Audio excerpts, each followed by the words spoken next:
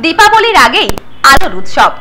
দামোদর মাস উপলক্ষে দীপদানে মেতে উঠেছেন হাজার হাজার ভক্ত। আগামী রাস পূর্ণিমা পর্যন্ত ইস্কনে চলবে এই দীপদান অনুষ্ঠান। আলোর উৎসব দীপাবলি। কিন্তু দীপাবলির আগে প্রতি বছরই প্রথা মেনে হাজার হাজার প্রদীপ জ্বলে ওঠে এখানে।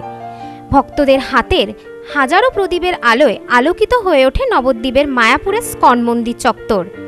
এভাবেই কোজাগরী লক্ষ্মী পূজার পূর্ণিমার দিন থেকে রাস পূর্ণিমা পর্যন্ত প্রতিদিন সন্ধ্যায় স্কনের প্রধান কেন্দ্রে মায়াপুর সহ বিশ্বের সমগ্র স্কন মন্দিরে একইভাবে পালিত হয় এই দামোদর মাস।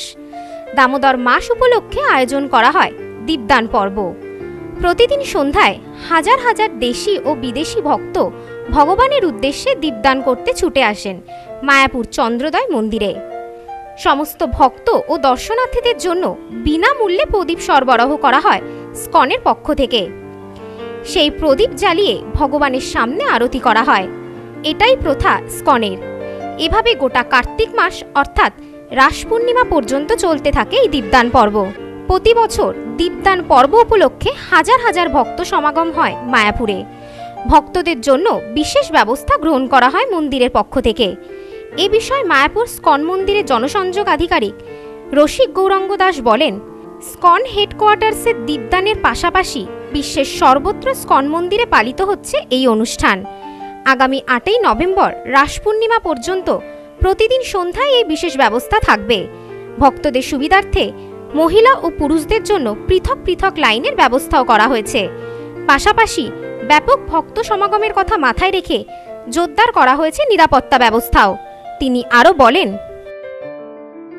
ইস্কন হেডকোয়ার্টার সিধা মায়াপুর সহ বিশ্বব্যাপী সমস্ত শাখা কেন্দ্রে দীপদান অনুষ্ঠান এই দামোদর মাসে অনুষ্ঠিত হচ্ছে এবং এটি আটই নভেম্বর পর্যন্ত চলবে। রাস পূর্ণিমা পর্যন্ত জাতি, ধর্ম, বর্ণ নির্বিশেষে সকলেই বিনামূল্যে এই দীপদান করতে পারবেন।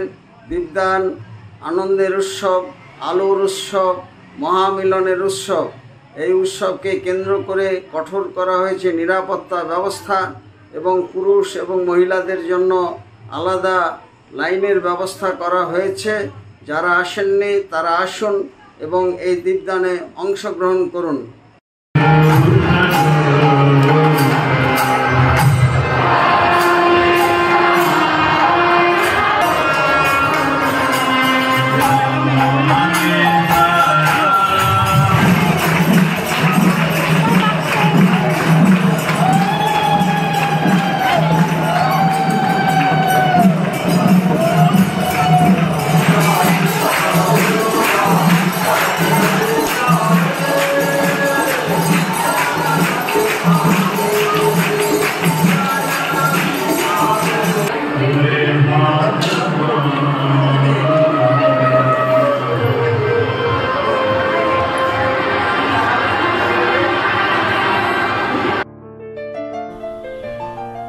Report news no man's land Nabadwip.